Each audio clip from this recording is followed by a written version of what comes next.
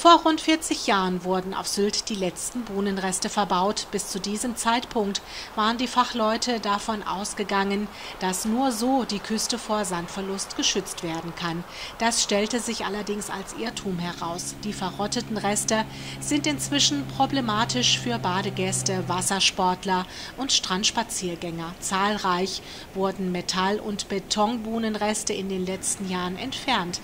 In diesem Winter wurde am Strand von Westerland jede Menge Sand fortgespült. In der Folge ragen nun dort die alten Holzbohnen hoch aus dem Sand. Sie sehen toll aus, geformt vom Meer, dem Sand und den Gezeiten. Meerestiere haben sich angesiedelt und doch bergen die spitzen Holzreste auch Gefahren. Mit dem Beginn der Sandvorspülungen im Frühsommer werden die alten Holzbohnenreste dann aber wieder mit Sand bedeckt werden.